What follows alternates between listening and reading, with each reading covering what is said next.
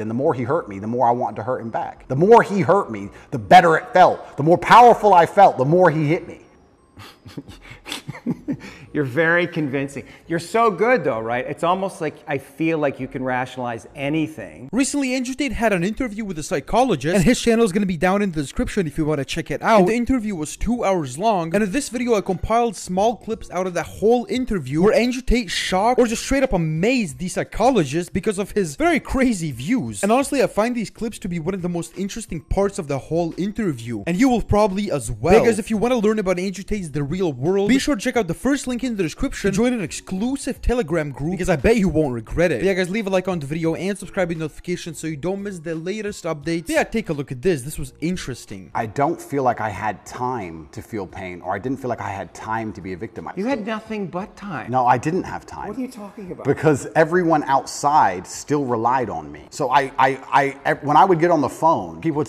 Is that avoidance, though? I don't know. Do you keep busy? Do you avoid your feelings by keeping busy, being on the computer all the time? all, all the things I had to do still had to be done. Just because they threw me in a cell, it just made it more difficult, which means I have less time than ever because the difficulty's been increased. And when I would get on the phone, we wouldn't discuss how I'm feeling. I'd be worried about how everyone else is. They'd be like, How are you? Yeah, I'm in jail. What's going on with this? Are you okay? Are your bills paid? Are press hassling you? I was worried about fixing everyone else's problems from jail more than I was concerned about myself or my own mental well-being. And when I, if I felt particularly, when I say pain, pain's an, is, is an awkward one. I don't know if I felt pain because I don't feel sorry for myself, and I've developed this mindset of such absolute accountability that even though what happened to me I believe was unfair and even though I'm completely innocent I didn't think ah why I didn't I didn't think why is this happening? I didn't think why me? I didn't think oh this is unfair. Like none of these things crossed my mind. I was like this is garbage. However you can't become the most Google man in the world without uh, with every light has a dark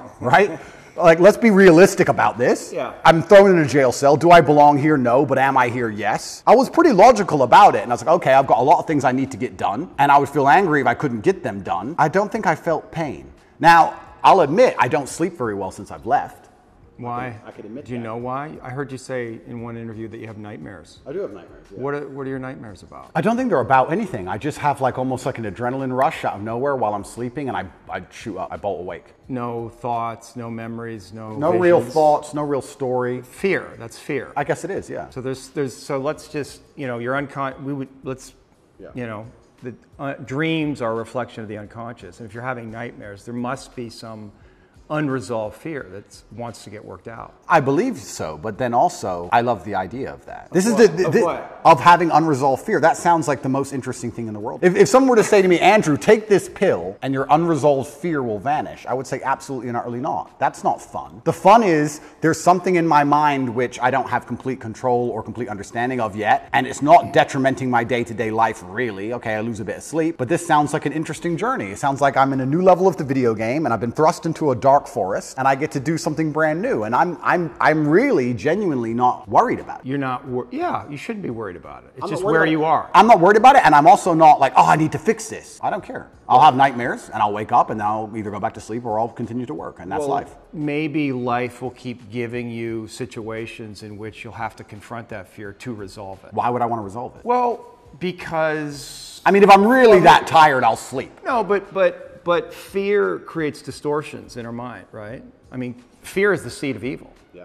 Right? And so we want to know what we're afraid of because if we block our fear, we're susceptible to bad actions, right? Or, And fooling ourselves about what they are, rationalizing. Yeah. So I would argue that it's it's actually vital for you in the position that you are in and the responsibility that you have to con- actually confront your fear in a very real way, which probably goes back to your childhood. I mean, your dad was, I mean, I'm, you know, the haircut story, and I, I don't know if you want to talk about that, if you're willing, but that's it. You know, when I read that, I'm thinking about that little boy. It must have been fucking terrifying. It is, but I do think I had the best father on earth. I'm not, I'm not disputing that. I mean, there's a lot of good that came from your father. I'm not disputing that your father was a good man. Yeah. When you say he could go from zero to 100 like that, that for a little boy, It's scary. it's fucking scary. It is, but and I- that fear has to be in you. You don't know what the fuck he's going to do. Yeah, completely. Yeah. But that's I think that's prepared me for life fantastically, and I also course. and I also think the fear. But have you reached a limit? Have have tolerance? you well of the video game? I mean, you're you're you're facing all these charges, right? So something, and maybe this is what you need to go through. I mean, you're on the hero's journey, Yeah.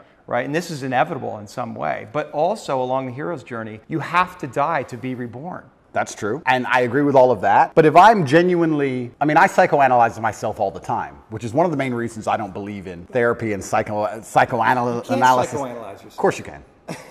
I do, I do it myself. You don't think that's hubris? No, I you think- can know your own mind, that you don't need reflection from others to, to see yourself, that you I can think- see yourself perfectly. I think that no, I don't think I can see myself perfectly, but I think that life is a perfect reflection. but why not get help? Why, why not? Like, Because because then it becomes a crutch. I like the idea that I can rely on myself to fix myself. well, you have a coach. Is that a crutch? No, it's not because he's teaching me something. What's the difference? That's fine, but like if I had an affliction, I would like to be my own doctor. And I think with your mind you can do a lot of it yourself. And I think if you have a very strict framework and how you measure how successful you are as a human, and I do it through competence and achievement, I say which mindset do I need to achieve as much as I can possibly achieve? Right. And I can measure that in real time. I can measure that in literally dollars and world championship title belts. I can literally measure the success. Mm-hmm. I'll say, okay, well, then this is the mindset I need to have to be as successful as possible. Anything that's deviating me away from that needs to be addressed and, and concerned and, and dealt with, and I can do that myself. And I think the fear that if, I, if it's fear that's waking me up from nightmares now, it's just because I understand there's a very big apparatus, a very big enemy, which I cannot destroy and I cannot beat coming to get me.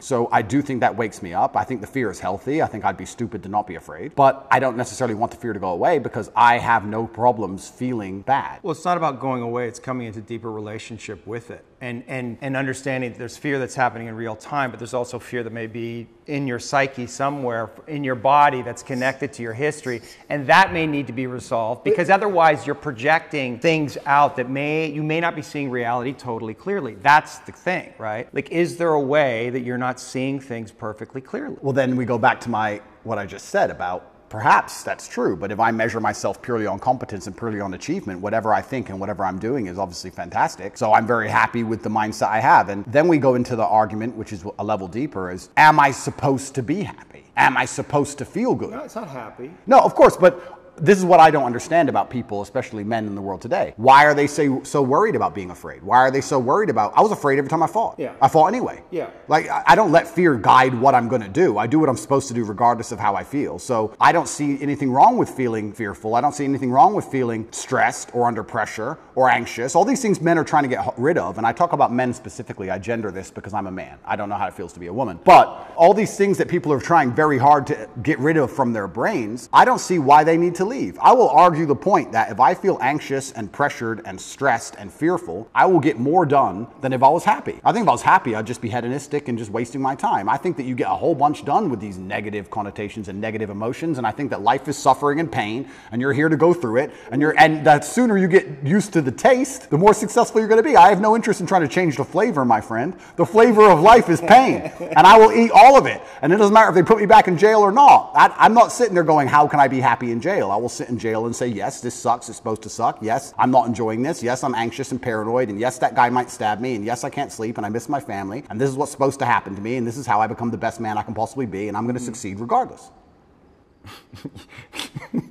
You're very convincing. You're so good, though, right? It's almost like I feel like you can rationalize anything, right? It's almost like a trick. Magic trick? Well, you're really good at talking, you're really smart, and it's almost like any question you can turn Well- and, and, and, and make it work for you, which is great. It's a skill, but there's also a place where there's the potential Yeah. for self delusion. Oh, absolutely. And I'm not even going to sit here and say that I'm not delusional to a degree. I'm not saying that self delusion doesn't all exist. are. We all are, right? Let me give you a very simple example. Let me try and use an analogy. I think the only thing better than having everything you want is not wanting anything, right? So I have every car on this planet. I have mm-hmm. 40 supercars. Most people want a supercar. I have 40. But there's that unique 0.1% of people who genuinely don't want one.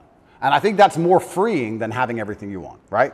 So the, the, the, true mindset is not wanting anything. Most people, the best they can do is having everything they want. And I feel like you can kind of do this with the emotions as well. I guess my general consensus is that I don't think I can change or affect the world to the point where pain and suffering and bad things are not going to happen. So isn't it best if I just enjoy all of that? Doesn't that make me as powerful as possible if I say, oh, yeah, okay, this is going to suck? Good. I mean, I do it when I fight. Uh-huh. Yesterday I was fighting, right? We were doing 12 rounds and all of us were destroyed. And the more he hurt me, the more I wanted to hurt him back. The more he hurt me, the better it felt. The more powerful I felt, the more he hit me. Because then it's my turn. Right? So if I can't stop him from punching me, and I'll do my best, but if I can't, then surely you should learn to enjoy it, right? And I don't think you can stop life from hitting you. And I don't think you can stop life from giving you unexpected surprises. And I don't think you can stop yourself from feeling sometimes sad or anxious or upset. So I think the best mindset you could adopt is finding that engaging and exciting. I'm not going to lie to you. Although I am facing very serious charges, and although they are trying to destroy my life, and although I cannot sleep the same, and although they're out to get me, and although I've suffered, part of me is excited. Part of me is like, okay, Why? because it's a war. Uh-huh. You, you like war. I think all men do.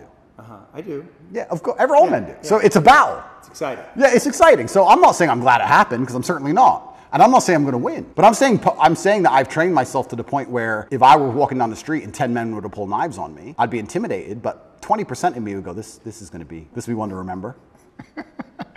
Do you have a belief that you could take 10 men with knives? I have a belief that yeah, I do. Mm-hmm.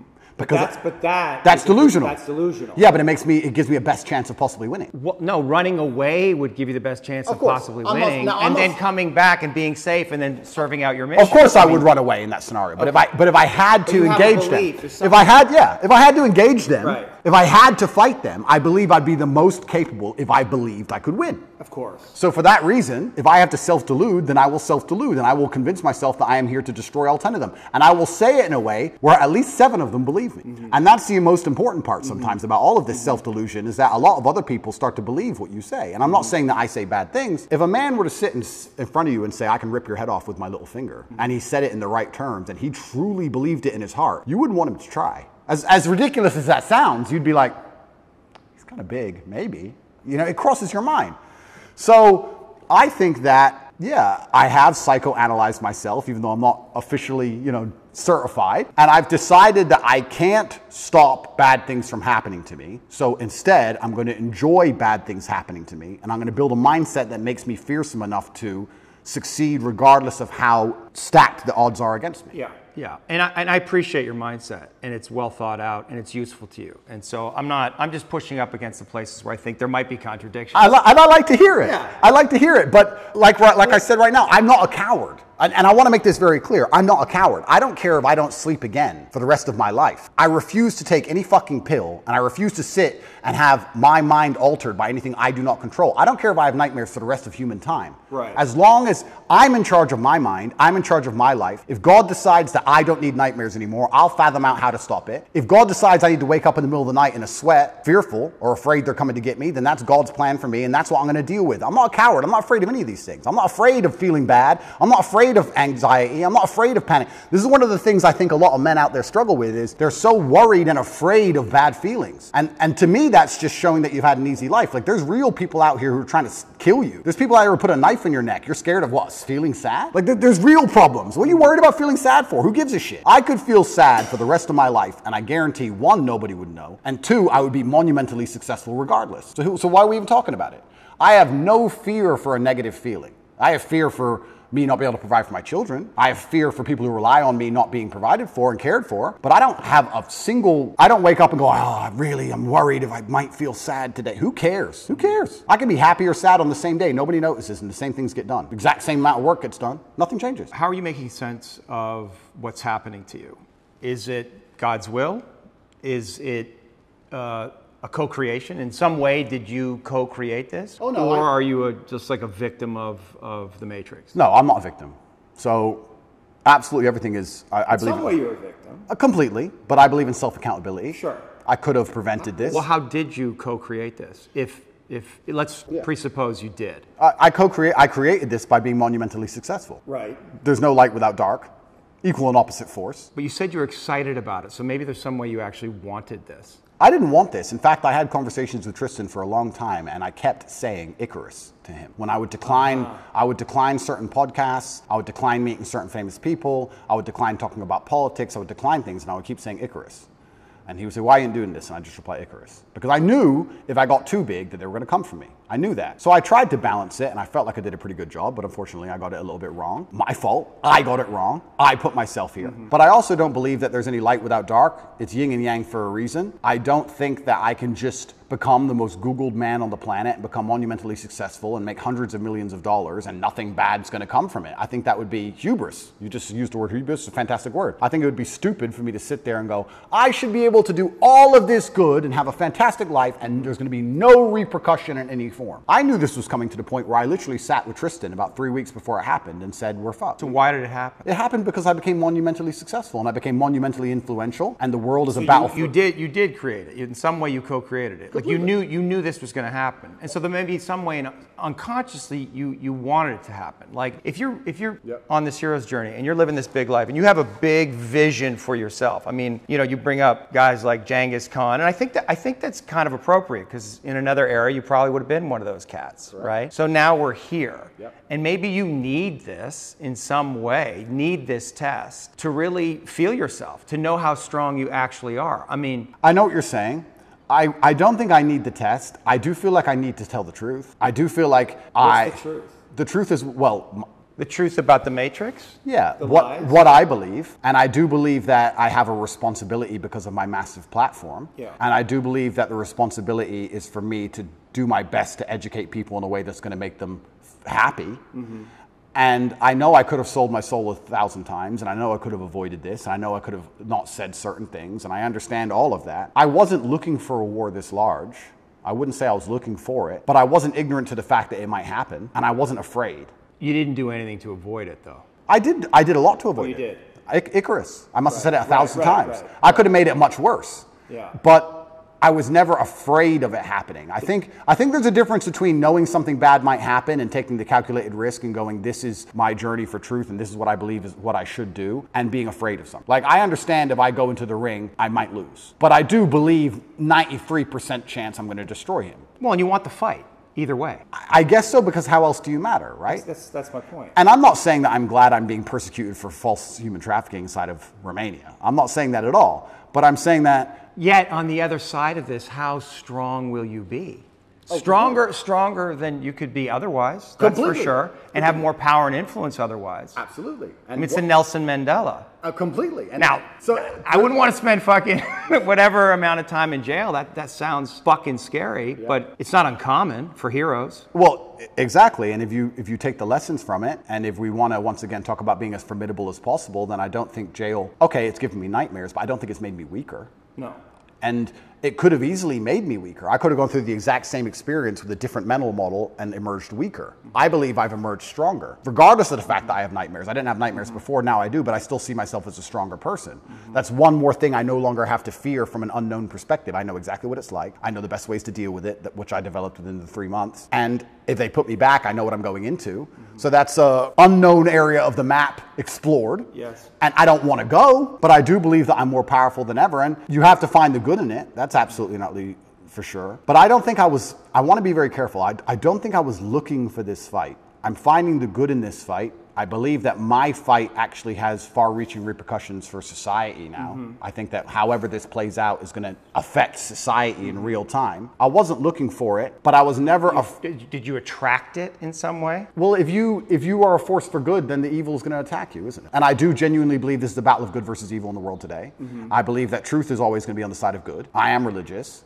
I believe the things I say most people knew were true only 10 to 15 years ago. I don't think they're radic- radical ideas. And I think that there is an evil force in the world which is extremely deceptive, and they are out to try and silence me, not because what I say is wrong. It's in fact because what I say is right. I believe the reason I have so much influence and the reason so many young boys listen to me and pay attention to me is because I say things that are true, that they know intrinsically, evolutionarily, inside of their bones as true. That I say things which work. People often wonder why my fan base is so feverish, why my fan base is so dedicated. Well, if they listen to me, it's the first time they ever feel good. Mm-hmm. The first time they ever train hard and start to feel better physically and they start to feel better mentally and they adopt my mental model and now they're not stressed or depressed anymore and then they may start to make some money and they go, you know what, I started listening to Tate a year ago. I'm in the best shape financially, the best shape physically, the best shape mentally. Tate's the man. Mm-hmm. So they're hyper dedicated to me. Yeah, I mean, there's there's going to be a negative to that. I, I've been. I want to make something clear. I've been brutally aware of the fact that all of this might blow up in my face for a very long time.